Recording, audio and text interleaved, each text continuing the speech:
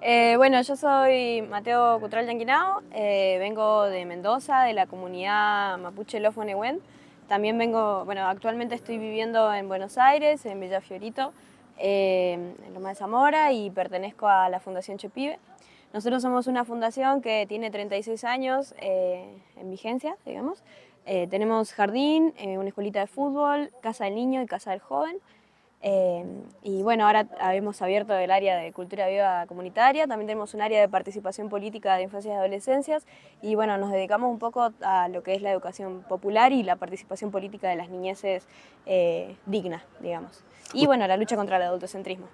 Bien, ¿ustedes ya vienen participando en otros espacios de cultura viva comunitaria o esta es la primera participación que tienen? Eh, no, tengo entendido, yo me sumé hace dos años a la fundación, pero tengo entendido que, que, ya vienen desde antes, estuvieron, bueno, eh, cuando se hizo el viaje a Bolivia, Chepibe estuvo muy presente ahí, fueron con el carromato de, del Culebrón Timbal y también con el Che Bondi de Chepibe a Bolivia. También hicieron lo que fueron las, caravanas que pasaron por Mendoza también, y yo estuve ahí.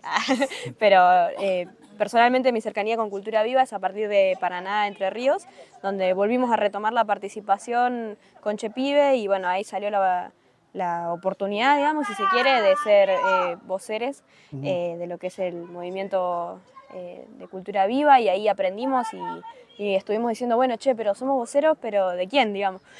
si, si, el grupo no, no hablaba a nadie y no, no estaba muy movilizado y empezamos a agitar, agitar y ahora, bueno, ya llevamos cuatro encuentros provinciales en dos años y bueno, nos reunimos asambleariamente cada cierta cantidad de tiempo.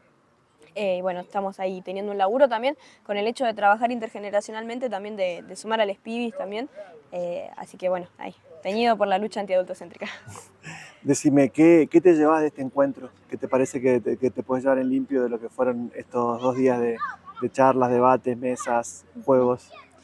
Y la posta, posta a posta me lleva una banda de, de aprendizaje. Yo me, me, estaba alejando mucho de la militancia porque ya había demasiado, demasiada bronca, demasiadas peleas, ganó mi ley, sentí como, uy, no, boludo estamos perdidos. Pero la verdad que escuchar acá a los compañeros me hizo también entender un poco más qué es el movimiento eh, y entender también que se empezaron a generar otras cosas desde, desde la empatía, la escucha, la atención, desde la propuesta abierta. Y, bueno, eh, bajar un poco la retaguardia también del, lado de uno y, poder compartir y reflexionar con el otro. Eh, también después de haber militado en pandemia, volver a, esto que, si bien la pandemia fue hace cuatro años más fuertemente, creo que nos quedan un montón de secuelas de eso y volver a participar eh, cara a cara eh, es, otra cosa también y, es muy lindo. Además también nos condiciona mucho el territorio que hay acá eh, y es muy distinto venir de Fiorito a acá. Digamos, en Fiorito las condiciones ambientales son otras y nada, mucho agradecimiento también con, con quienes nos reciben porque bueno, para nosotros eh, como, como pibes también es muy importante poder respirar oxígeno. Nos bajamos al bondi y decimos, ¡oxígeno! Porque nosotros allá respiramos y tenemos la, la, grasera en los pulmones, digamos. La grasera, la curtiembre, la aceitera. Eh, vivimos casi al lado del riachuelo, caminamos en la calle y pisamos basura. Eh, entonces eh, venir acá y pisar el pastito, eh, el barro. Tengo la zapatilla con barro, hace mucho que no tenía la... Y barro que no está podrida. no he barriado el barrio, no. Igual yo lo quiero mucho, pero bueno, nada, hay complicaciones y, habitar este territorio que, que, te invita a sanar igual.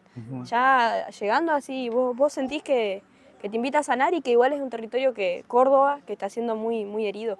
Eh, veíamos el cielo rojo por, por, por el fuego, a pesar de que estaba lloviendo. Entonces, bueno, eso también me, lleva un poco de dolor por, por esa cuestión medioambiental, que, que no, no se dice medioambiental, sino por esa cuestión ambiental que, hay que seguir eh, cuidando, digamos, y hay que seguir peleándola. Es momento de, de ponerse como guerreros y a defender la, la tierra. Muchas gracias. No, gracias a vos. Permiso.